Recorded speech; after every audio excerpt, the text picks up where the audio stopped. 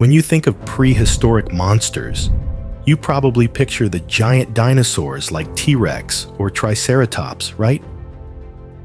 But before these iconic beasts ever roamed the earth, there were creatures even stranger and more terrifying.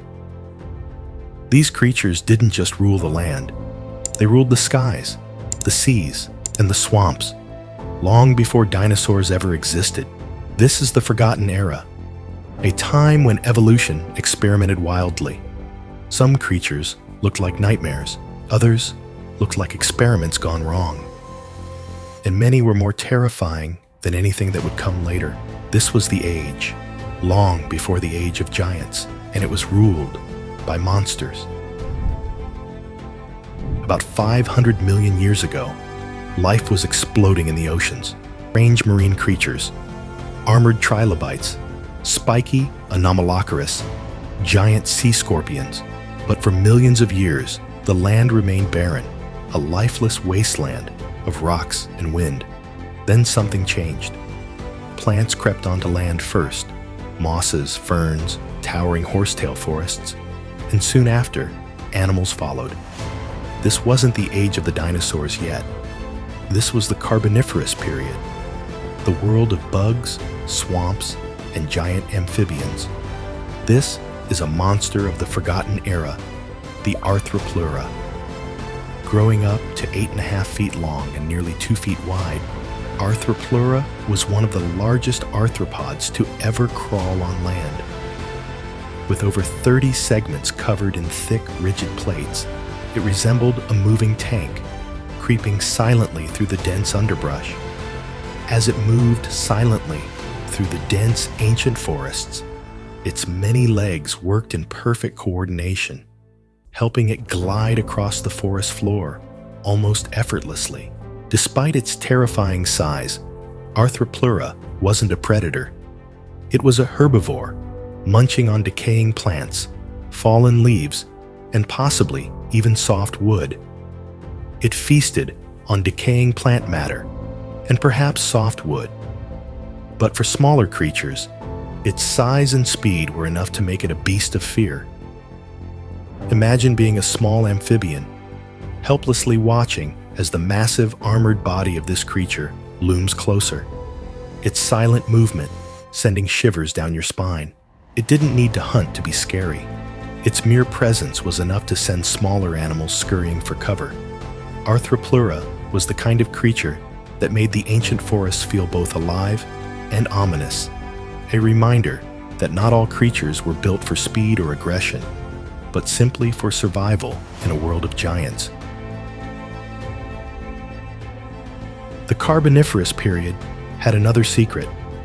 The air was different back then. It was richer in oxygen, nearly 35% compared to the 21% we have today. This extra oxygen was a game changer. It supercharged insect growth, allowing bugs to grow to terrifying sizes. Dragonflies the size of modern seagulls filled the skies. The most famous among them was Meganeura, a dragonfly with a wingspan of about two and a half feet.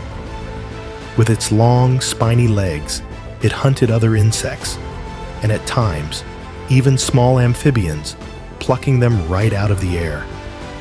Imagine walking outside and hearing a low, buzzing roar overhead, only to see a dragonfly as big as a hawk, its massive wings slicing through the air with a rhythmic hum. In this world, bugs didn't just fly, they ruled the skies. It was a time when the atmosphere itself was a breeding ground for monsters, and every step outside was a reminder that giants weren't just found on the ground. While insects ruled the air, the swamps were home to something even deadlier early amphibians. These weren't like the frogs or salamanders you know today. They were giants, ferocious predators of the ancient world. Crassigyrinus, for example, was a monstrous eel-like amphibian with a huge mouth full of sharp teeth. It hunted anything it could swallow, fish, insects, and smaller amphibians. Growing up to nine feet long, it lurked in the murky rivers and lakes, waiting for the perfect moment to strike. Then there was Eryops, a massive, heavily built amphibian with a skull almost two feet long, filled with sharp teeth. Eryops could waddle onto land to ambush prey, but it spent most of its life in water, lurking in the shadows, eyes gleaming above the surface. These ancient amphibians were some of Earth's first major predators. They were slow, but deadly. Their predatory prowess set the stage for something even scarier to emerge from the swamps. The first true land-dwelling reptiles. Creatures that would later dominate the Earth for millions of years. Around 300 million years ago, a new type of animal emerged, the reptiles. Unlike amphibians, reptiles didn't need to stay near water. They could live deep inland, laying hard-shelled eggs that survived on dry land. This opened up an entirely new world of possibilities. And evolution didn't hold back. Some reptiles stayed small, scuttling through the ferns, but others grew into terrifying predators. Dimetrodon is one of the most famous, often mistaken for a dinosaur, but it lived about 50 million years before dinosaurs even existed. Dimetrodon looked like a cross between a Komodo dragon and a sailboat. It had a giant sail on its back, formed by elongated vertebrae covered in skin. Scientists think it may have been used for thermoregulation, absorbing heat from the sun to warm up faster than its prey. But make no mistake, Dimetrodon was built to kill. It had a powerful jaw, lined with serrated teeth, the first real fangs on land.